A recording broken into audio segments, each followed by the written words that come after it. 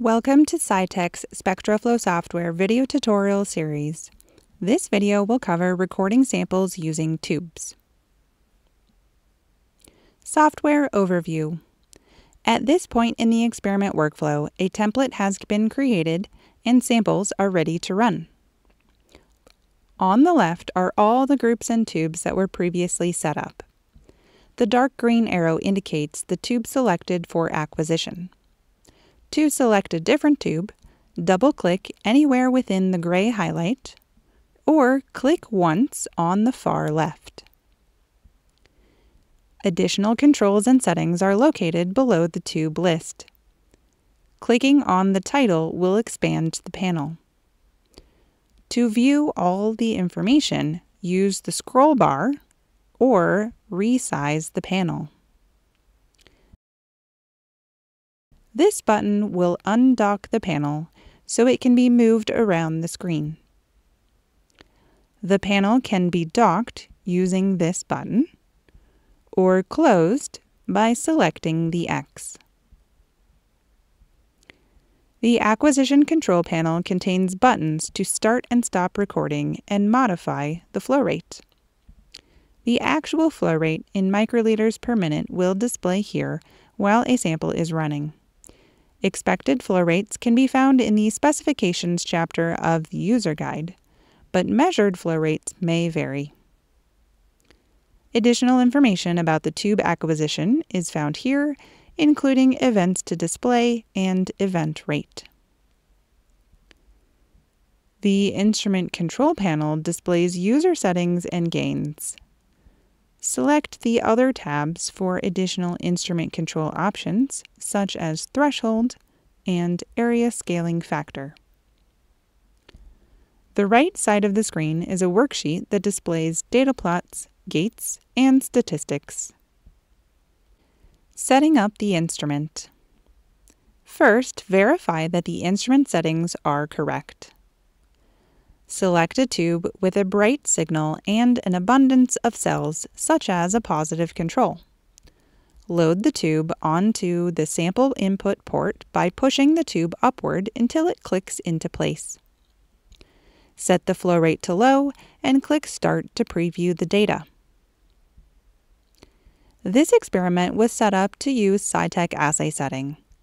Adjust the scatter gains so they are appropriate for the sample. Use the Restart button to refresh the data shown on the plots. If a different scale is preferred, right-click on the scatter plot and open the plot properties to modify the axis scale before adjusting the gains. Low forward scatter events are typically debris, and these can be excluded by setting a threshold. In the Instrument Control panel, select Threshold and enter an appropriate value. Click Stop after all preferred instrument settings have been adjusted. The data preview will remain on the screen until a different tube is selected or new data is recorded. Adjust the P1 gate to fit all cells of interest. Review the spectral plot and confirm that all data is on scale. Select the Save As button to save these modified settings for use in future experiments. Make sure to enter a unique and descriptive name. If needed, change the P1 gate to be appropriate for the stopping criteria. For this experiment, we want the stopping gate to be on lymphocytes. We are now ready to record samples. To remove the current tube, Pull straight down until the tube is released. The cytometer will automatically run a SIT flush to clean the sample line and minimize sample carryover. If preferred, the next tube can be loaded before the SIT flush completes. We will start with the unstained sample, which is the first tube in the reference group. Check the tube status to ensure the correct tube is selected and the cytometer is ready. Select the desired flow rate and click Record to save the data. As the tube is recording, The stop volume and event count that were set in the experiment template are shown. The time elapsed is shown here. The progress bar tracks whichever stopping criteria will be met first. If preferred, the sample can be manually stopped by selecting the Stop button. When the recording is complete, the tube icon changes from blue to green to indicate a file has been saved. The selection arrow will automatically move to the next tube when the acquisition criteria are met. Another tube can be selected if a different running order is preferred. If the experiment contains multiple sample types, different stopping gates may be needed. For example, this experiment contains some bead-based reference controls. Now that all cell controls are recorded, we will record the bead controls. Select Start to preview the beads and adjust the forward scatter and side scatter if needed. Click Stop when there are enough events to gate on. Adjust the P1 gate around the beads.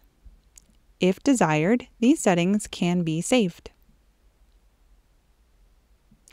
When all reference controls have been recorded, the Unmix button becomes available. At this point in the workflow, there are two options to proceed. One option is to finish recording all tubes in the experiment and then select the Unmix button.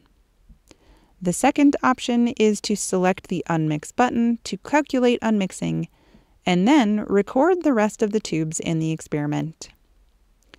The second option is a commonly used method because the unmixed data can be viewed while samples are recording.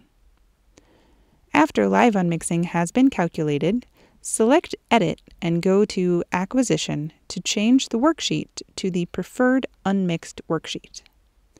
The stopping criteria will now be set using stopping gates within the selected unmixed worksheet. More details on how to create and use unmixed worksheets will be covered in another video. This completes recording samples in tubes. The next video will cover the steps to set up and calculate unmixing.